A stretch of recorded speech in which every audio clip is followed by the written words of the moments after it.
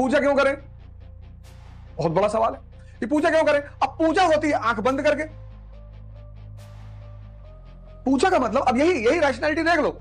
अब पूजा का मतलब मांगना नहीं। वर्शिप का मतलब आम आदमी के लिए मतलब क्या है? मांगना।